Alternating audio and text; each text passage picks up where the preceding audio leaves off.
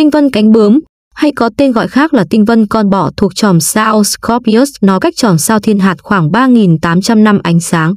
Sải cánh của bướm khổng lồ có chiều dài hơn 2 năm ánh sáng, bằng một nửa khoảng cách từ mặt trời tới ngôi sao gần nhất, Alpha Centauri.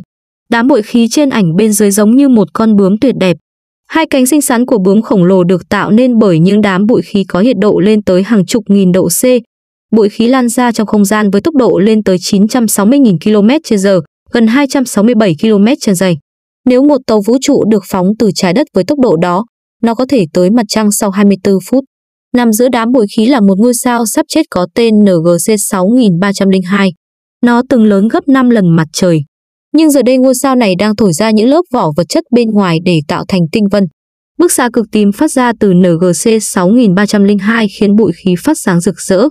Độ sáng của nó sẽ tăng lên hàng triệu lần trong một thời gian ngắn. Sau đó NGC 6302 sẽ biến thành một sao siêu mới.